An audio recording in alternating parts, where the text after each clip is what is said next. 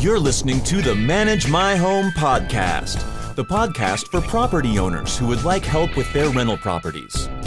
This show is based on the RPM WV Phoenix team's experience in leasing and managing homes and will give you useful advice and tips to succeed with your rental property. And now, from Phoenix, Arizona, here is Lisa from RPM WV Phoenix. Happy New Year and welcome to Manage My Home. This is our first podcast of 2019. Today we're going to be talking about selling your home and showing your home when you have pets. I do have to disclose that I have three pooch people, so I am very partial to pets. But there are definitely some steps that you need to take in prepping your home and showing your home because, of course, not everybody is partial to pets.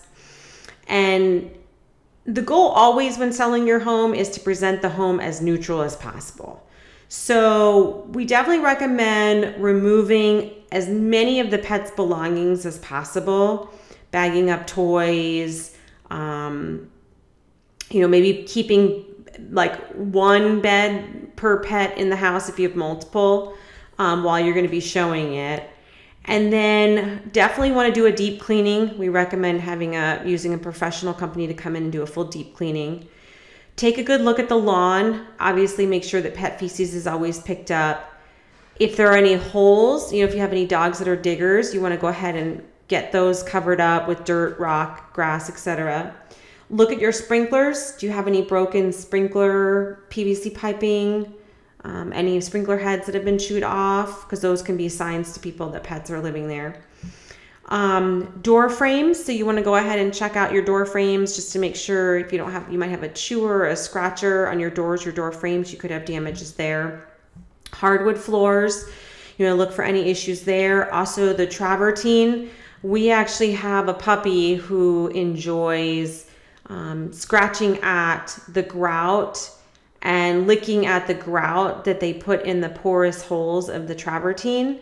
So that's one other area you can kind of take a look at, and you may want to get it regrouted, resealed before you put it on the market. And then, of course, for the showings, it is important to have your pets removed. And if possible, you know, remove your pets. Like we've always done is we'll, you know, take our dogs out for a showing. We take all their dog beds with them. Um, this way, you know, they're not there at the showing and the and their items aren't present. You know, same if you have cats, if you can possibly take the cat out, definitely get the litter box out of there for a showing for sure, because you don't want to have any odor. And then um, our tip for this month is in regards to the government shutdown. So I don't know if some of you have had some tenants who have called and said that they're not going to be able to pay their rent on time because of the government shutdown. Well, there's some good news. The banks are willing to do loans to those employees off their paychecks. So they just have to contact their bank. Um, they need to provide the letter that the gover- government provided them, you know, explaining the government shutdown. It's a letter that they've been provided that they can give to creditors as well. So it's the same letter. And they can go to their bank and kind of get like a paycheck a paycheck loan and they can get it done pretty quickly. So this way it should help you, you know, in avoiding having the late rents come in and kind of, you know, then having to worry about your tenants getting caught up. So we appreciate you listening and if there's anything you would like discussed in uh, on our podcast, please email us at info at rpmwvphx.com.